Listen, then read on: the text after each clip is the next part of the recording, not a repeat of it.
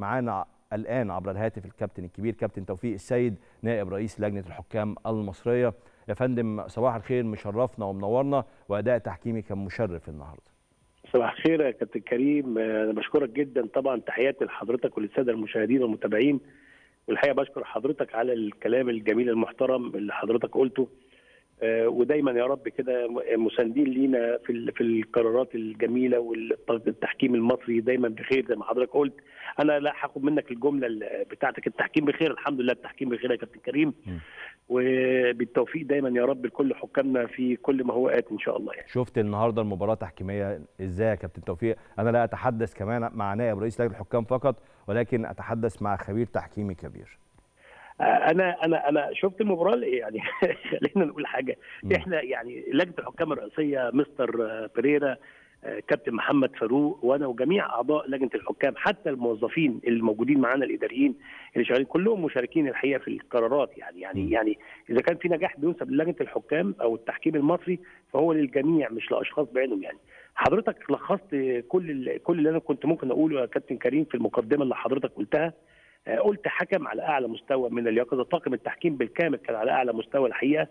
آه، شيء طبيعي مباراة كبيرة جدا يعني مباراة بعد مباراة الكأس مصر اللي كان برضو مباراة مهمة جدا.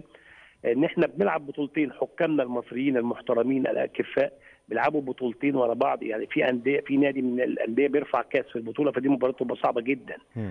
مم. فالحمد لله رب العالمين إحنا كلنا آه، راضيين كل الرضا عن أداء الحكام في المباراتين والنهارده كمان المباراة تحديدا.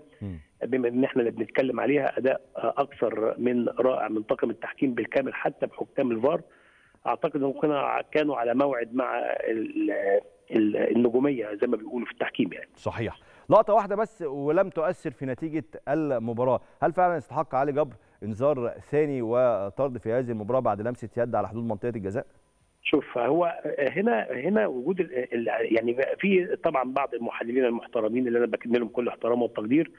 هي كل واحد فيهم حسب رؤيته لكن. هو هو إحنا هنا لازم نفكر ومحمود شاف إيه عشان يعني هل محمود شاف إن ده ممكن يكون في لعب على المرمى هل في هجوم واعد هل هو ممكن ما يكونش شاف كده من وجهة نظره فأنا يعني اسمح لي إن أنا هتحفظ إن أنا أتكلم في ألعاب فنية لأني. طبعا أنا عملت طبعا مداخلة مع حضراتكم وده شرف ليا ده شرف ليا يا فندم لا ولو. حضرتك لو حضرتك طبعا تتحفظ ده, ده ده شيء مقبول خالص بالعكس أنا فاكر كان عند حضرتك رأي حاسم في هذا الأمر ممكن يعني يجنبنا أنا التحليلات التحكيمية في هذا. الأمر أنا الحكم بتاعي آه أنا بمشي معاه لأن أنا من نفس الطاقم اللي, اللي كان موجود في المباراة النهارده فمش. مش هتكلم في ألعاب. فنية لكن طيب. شرف ليا زي ما قلت لحضرتك إن أنا بتكلم مع حضرتك في القناة. المصرية العظيمة بتاعتنا طبعا القناة الأولى يعني. طيب كابتن توفيق في شيء مهم كمان حابب أسأل حضرتك عليه هل موضوع تثبيت الحكام المصريين في المباريات الكبيرة هيستمر في المباريات القادمة ولا ممكن نشوف تغيير ويعود تاني لا. مرة أخرى الحكم لا لا الأجنبي م- طالما طالما لجنة الحكام الحالية بقيادة مستر آه، بيريرا موجودة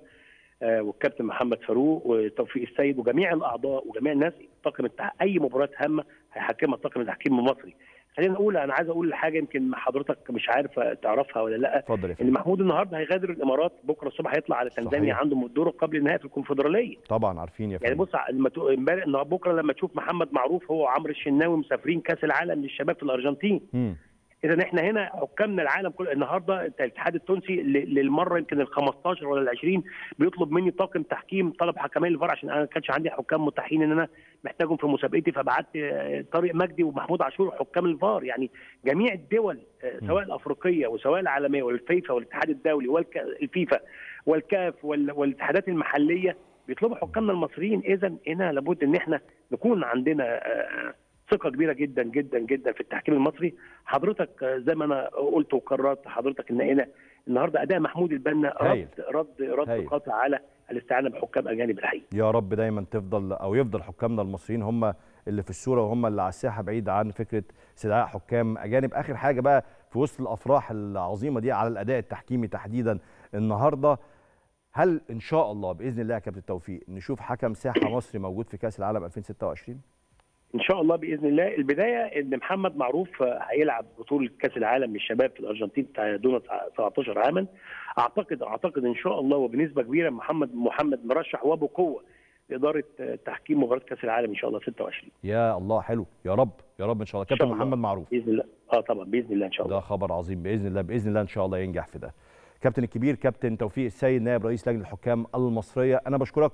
شكرا جزيلا. بشكرك على أه بشكرك بالنيابة عن الجماهير المصرية على طاقم تحكيم مباراة اليوم الطاقم اللي قدم مباراة ببراعة كبيرة جدا وبأداء مشرف جدا.